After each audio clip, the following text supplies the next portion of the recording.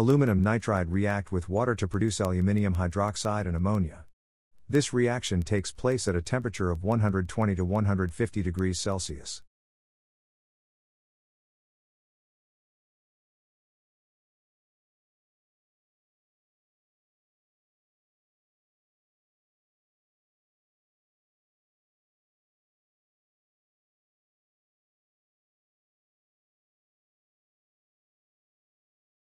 This is the balanced chemical equation between aluminium nitride and water.